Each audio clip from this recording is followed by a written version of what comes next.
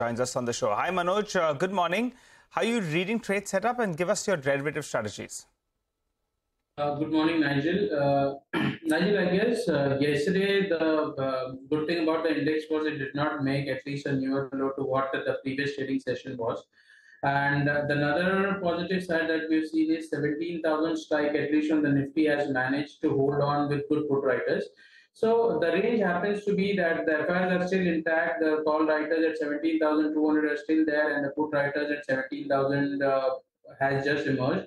So the Nifty comes into a range of this 200 odd points. But every time if we see a gap of opening, you usually see that is being getting sold off. So we are expecting that uh, levels of at least 17,070 to 90, 090. This would be a better level on the futures to go long and there is a possibility of at least a 17,200 on the index. So it's a range bound session with a positive bias, at least for the Nifty, and that would be backed more for the banking bank Nifty.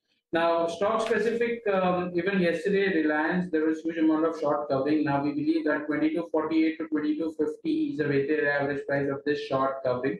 So we get a dip closer to that level of uh, 2250 to 55 becomes a good buy with the stop loss of 2230 the target again comes closer to 2300 at least in the short term for the Reliance. Okay, Manoj, got that. Thank you very much for uh, the uh, trades there and a couple of the FNO ideas. We've got a very interesting pre-open today.